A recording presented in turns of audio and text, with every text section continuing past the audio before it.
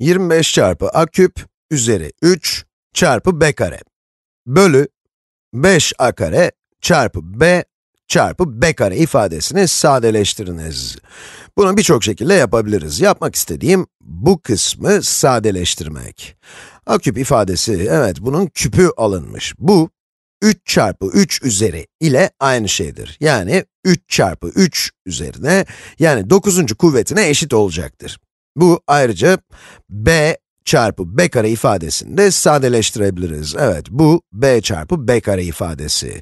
Bu ne demek? b üzeri 1 çarpı b kare demektir, değil mi? Yani b üzeri 1 çarpı b kare, bu da eşittir. Üstleri topladığımız zaman 1 artı 2 b üzeri 3, yani b'nin küpü eder. Sadeleştirebileceğimiz bir şey daha var. 25, 5'e bölünmüş. E bu zaten 5 eder. Bunu pay ve paydayı 5 ile bölmek olarak görebilirsiniz. Peki sadeleşmenin sonucu ne oluyor? 5 çarpı a üzeri 9 çarpı b kare bölü a kare çarpı b küp. Evet, şimdi üslülerde bölme özelliğini kullanabiliriz. Elimizde a üzeri 9 bölü a kare var. Sadeleşmenin sonucu ne olacaktır? Yukarıdaki ifade şuna eşittir o zaman. Üstleri birbirinden çıkartırız değil mi? a üzeri 9 eksi 2 eşittir a üzeri 7 eder.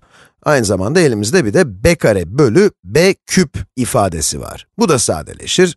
b kare bölü b küp ne demektir? b üzeri 2 eksi 3 demektir. Bu da b üzeri eksi 1 eder. Bu şekilde bırakacağız.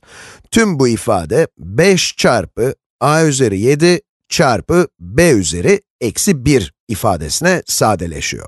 Bunu bu şekilde bırakabiliriz ama belki burada negatif bir üs istemeyebiliriz. Şunu hatırlayalım ki, b üzeri eksi 1, 1 bölü b ifadesiyle aynı şeydir.